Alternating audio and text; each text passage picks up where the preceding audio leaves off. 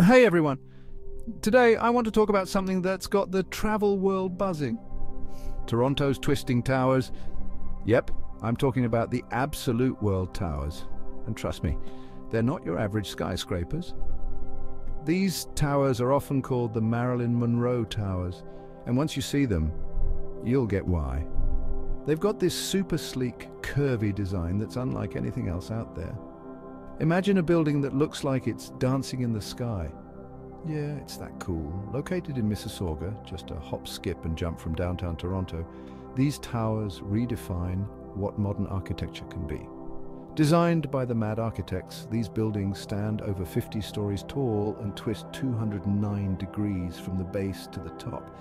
It's kind of like an architectural magic trick. Every angle you look at them from gives you a completely different view. But it's not just about looks. I mean, these towers are packed with luxurious condos that offer panoramic views of the Toronto skyline and Lake Ontario. Imagine waking up to that every morning. Plus, the design maximizes natural light and ventilation, making it eco-friendly and super comfy to live in. Now let's talk about why everyone's so captivated by these towers.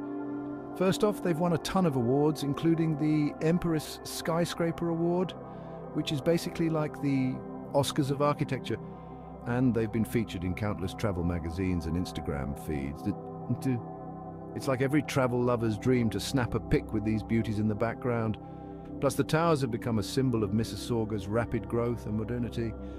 They're proof that the city is evolving and becoming a major player on the world stage. And, and let's be real, who doesn't love a good underdog story?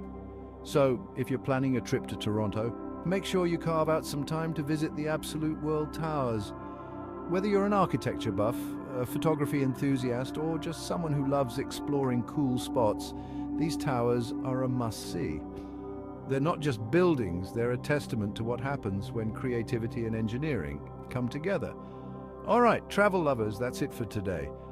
Don't forget to like, subscribe, and hit that notification bell for more travel inspo and tips. Catch you on the next adventure.